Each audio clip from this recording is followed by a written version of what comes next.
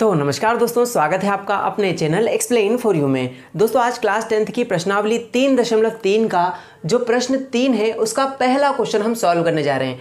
प्रश्न हमारे पास ये दिया है कि दो संख्याओं का जो अंतर है, यानी कि अंतर मतलब कि डिफरेंस यानी कि माइनस यानी कि डिफरेंस इनका। तो दो संख्याओं का अंतर 26 है, ओके। और एक संख्या दूसरी संख्या की तीन गुनी है, ठीक है? एक जो संख्या है वो अगली वाली की तीन गुनी है तो उन संख्याओं को ज्ञात करना है मतलब उन्हें ज्ञात कीजिए। तो हमें क्या है, दो संख्याएँ दी हुई नहीं है, हमें उनको एज्यूम करना पड़ेगा, मानना पड़ेगा कि एक संख्या एक्स है तो दूसरी संख्या वाई है। तो चलिए क्वेश्चन का शुभारंभ करते हैं और लिखते हैं कि माना संख्याएँ एक्स और वाई हैं, क्योंकि दो संख्याओं की बात की गई है ना, कि उनका अंतर छब्बीस है तो हमारे पास संख्याएँ हैं नहीं तो मानना पड़ेगी। यहाँ पर लिखेंगे हम हल और यहाँ लिखेंगे माना माना दो संख्याएँ, माना दो संख्याएँ, x कॉमा वाई हैं, ठीक है?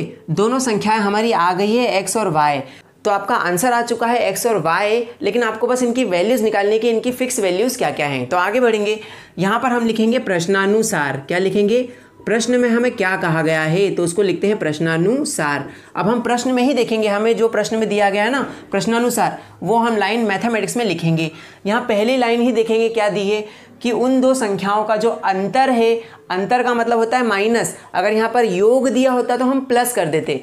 तो उन दो संख्याओं का जो अंतर है, यानी कि जो माइनस है वो 26 है, यानी कि सर x माइनस वाई कर दो। अंतर बोला ना तो पहली और दूसरी संख्या का अंतर, यानी कि माइनस। कितना हो रहा है माइनस करने पे? अंतर 26 है तो यहाँ पर बराबर 26 लिख दिया।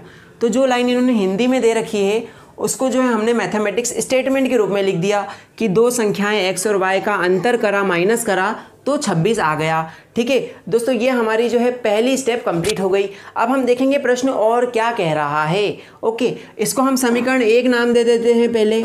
यानी जो ये समीकरण है, वो हमारा पहला समीकरण हो गया। अब बात आई, सर, आगे कैसे बढ़ें? तो क्वेश्चन को देखो और वापस से क्वेश्चन क्या कह रहा है, उस बात पे ध्यान देते हैं। देखो क्वेश्चन क्या कह रहा है। पहली लाइन तो हो गई कि दो संख्याओं का अंतर 26 है तो उससे हमने एक इक्वेशन बना ली। अब दूसरी लाइन देखो। दूसरी लाइन में लिखा है, एक संख्या दूसरी संख्या की तीन गुनी है। अच्छा तो हम यहाँ लिखेंगे फिर से प्रश्नानुसार। क्या प्रश्नानुसार, यानी फिर से हमने प्रश्न के हिसाब से करना है, जो भी करना है। तो प्रश्नानुसार अगली लाइन है आपकी, एक संख्या दूसरी संख्या की तीन गुनी है। तो एक संख्या है एक्स और दूसरी संख्या है वाई तो एक संख्या जो है ना एक्स वो जो अगली संख्या y की तीन से गुणी है, यानी तीन से गुणा कर दिया तो ये आपकी अगली स्टेप हो गई कि एक संख्या x, वो दूसरी संख्या y की तीन से गुणा कर दो, यानी तीन गुनी है। तो यहाँ पर अगला स्टेटमेंट आ गया x बराबर तीन वाई यहाँ पर x की वैल्यू हमें मिल गई तीन वाई तो ये आपका समीकरण दो, आप इसको नाम दे सकते हो, या डायरेक्टली आप इसको वैल्यू के रूप में भी रख सकते हो। तो यहाँ से सर हमारे दिमाग में एक बात आई कि x की वैल्यू तीन वाई आ गई है। देखो ना एक संख्या दूसरी की तीन गुनी है तो यानी x की वैल्यू तीन वाई है। सर, समीकरण एक में आप x की जगह तीन वाई रख दो तो हम यहाँ लिखेंगे, समीकरण एक में, समीकरण एक में x बराबर तीन वाई रखने पर, ठीक है, रखने पर हम ये x की वैल्यू जो है ना तीन वाई इसको समीकरण एक जो हमने बनाई थी, उसमें रख देंगे कि सर जहाँ पर भी हमें x दिखेगा, हम वहाँ तीन वाई रखेंगे।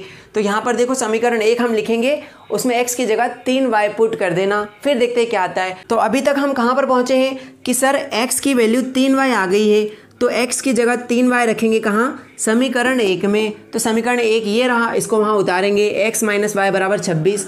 तो यहाँ दिया है x माइनस वाई बराबर छब्बीस। अब आपने क्या बोला है कि सर समीकरण एक में x बराबर तीन वाई रखने पर तो जहाँ जहाँ भी x दिख रहा है वहाँ तीन वाई रख दो। सर यहाँ पर x दिखा तो यहाँ पर तीन वाई रख दिया। माइनस का y वैसा का वैसा ही और 26 भी वैसा का वैसा ही। अब देखो, ये y और y जो सेम वेरिएबल के हैं, वो आपस में घट सकते हैं, जुड़ सकते हैं, गुणा हो सकते हैं, भाग हो सकते हैं। तो यहाँ पर देखो, तीन वाई माइनस का y, यानी तीन वाई में से सिंगल y गया तो दो वाई बचे। तीन वाई में से एक वाई गया तो दो वाई बचे। बराबर छब्बीस वैसा का वैसा ही। अब हमें y की वैल्यू चाहिए, लेकिन हमारे पास दो y की वैल्यू आ गई है छब्बीस। तो इस दो को यहाँ से हटाना पड़ेगा। तो दो को मत लिखो, बाकी पूरी लाइन वैसी की वैसे ही लिख दो। सर, अब ये दो कहाँ चला गया? तो दो यहाँ पर गुणा में था ना तो वो बराबर के उधर छब्बीस के भाग में चला गया। तो दो से छब्बीस का भाग दे दो, तेरह बार में कट जाएगा, क्योंकि दो एक कम दो, और ऊपर भी दो एक कम दो दो तिया छः तो वाई बराबर कितना आ गया? तेरह आ गया। ये आ गई आपकी एक संख्या। अब दूसरी संख्या कैसे निकालोगे? आपके पास दो संख्याएँ थी ना। एक थी x और एक थी y तो आपने एक तो निकाल ली, तेरह। अब दूसरी भी वैल्यू निकालनी पड़ेगी ना, यानी कि y की वैल्यू आ गई तेरह। अब x की वैल्यू कैसे निकालोगे? देखो, x की वैल्यू आप देखोगे, कोई सा समीकरण बना है x में तो हाँ सर, ये जो है ना, x बराबर तीन वाई ये आपका समीकरण दो, अगर आप इसको नाम दे दो तो ये हमारी डायरेक्ट वैल्यू बन रही है किसकी? एक्स की। तो यहाँ पर ये वाई बराबर तेरह समीकरण दो में रख दो। रखते हैं। Y बराबर तेरह समीकरण दो में रखने पर, ठीक है, रखने पर। अब हम समीकरण दो में y की जगह तेरह रख देते हैं। समीकरण दो, सर, ये रहा जो हमने बनाया x बराबर तीन वाई यहाँ लिख देंगे कि x बराबर तीन वाई एक्स को वैसा का वैसा ही, बराबर तीन भी वैसा का वैसा ही।